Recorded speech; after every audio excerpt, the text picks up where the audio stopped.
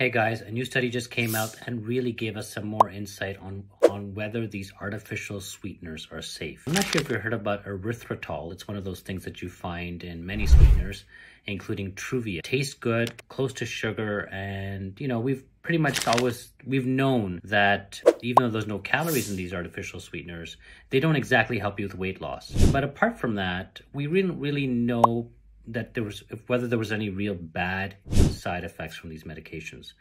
In the last one or two years, there have been some studies looking at erythritol specifically, and that it actually leads to increased stroke and heart attacks.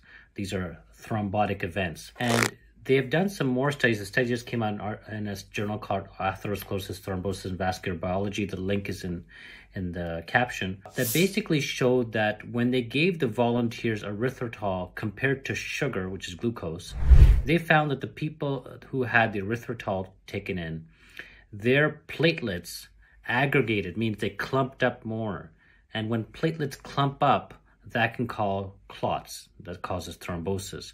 And that was what leads to strokes and heart attacks. So this is another study that's basically putting a nail into that theory that artificial sweeteners like erythritol and possibly xylitol have side effects in, in this case stroke and heart attack that really i think you should probably really avoid these molecules now. Uh, it's better probably just take sugar try to reduce that anyways but I would just throw these these products off your shelf now. All right, talk soon.